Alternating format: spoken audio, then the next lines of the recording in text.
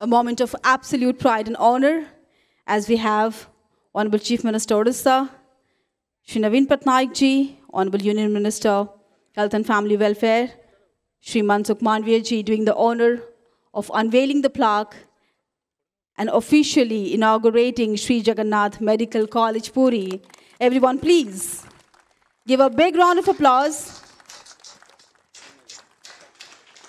A historic day for every Odia, for people of Puri, as true nationalists two very strong leaders are together to inaugurate Sri Jagannath Medical College. We thank Honorable Chief Minister Odisha and Honorable Union Minister Health and Family Welfare for doing the honors.